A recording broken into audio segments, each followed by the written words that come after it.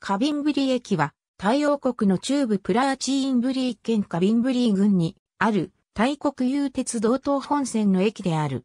カビンブリ駅は、大王国中部プラーチーンブリー県の人口約14万人が暮らすカビンブリー郡にある。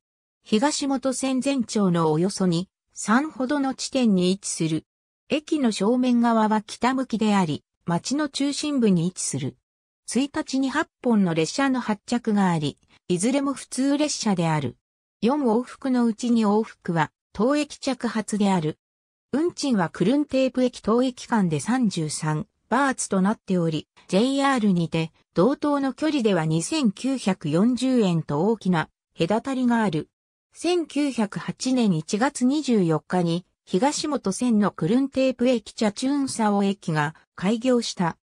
約5年後の1925年1月1日に当駅まで延伸開業し、終着駅として開業したが、翌年1926年11月8日にアランヤプラテート駅まで延長されたことにより中間駅となった。単式ホーム一面一線を持つ地上駅であり、駅舎はホームに面している。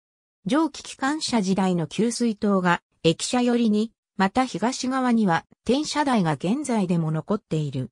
転車台上には退役した蒸気機関車63号機が生態保存されている。ABC 渡辺乙弘、大国鉄4000キロの旅 P505、岡本和幸、大鉄道旅行 P157、高田隆夫、大国の蒸気機関車 P15。ありがとうございます。